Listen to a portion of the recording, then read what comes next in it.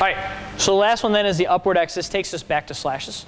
And so when we do the upward X, we're just gonna go one, two, three, and then go back to our low and high back Can everyone hear okay?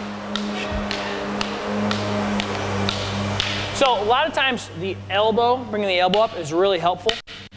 With this, it's tough to do this just wrist. Very awkward, okay? One, two, three. One, two, three. One, two, three. Okay? So now you get your wide X,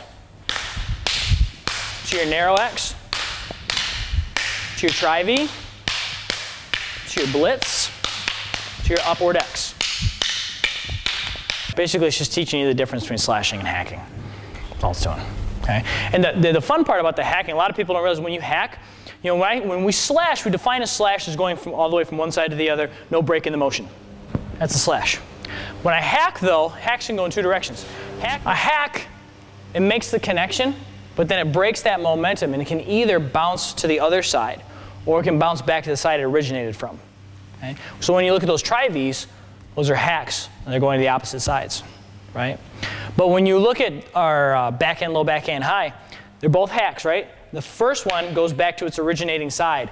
The second one goes to the other side so we can start again. So you get a little practice doing both. Same thing, you know, for, for you instructors, this is one, of the things I try to get across when we teach the high-low-high. When we teach the high-low-high, yep, here, I, I, talk a lot with new, newer people about how it's slashes and hacks again. That's a great place to start in, introducing that, right? Because again, you have a slash, you have a hack that goes back to where it came from, and you have a hack that travels to the other side. So you have all three types of strikes in your high-low-high. -high. Does make sense? So that's just one of the reasons why we teach that first.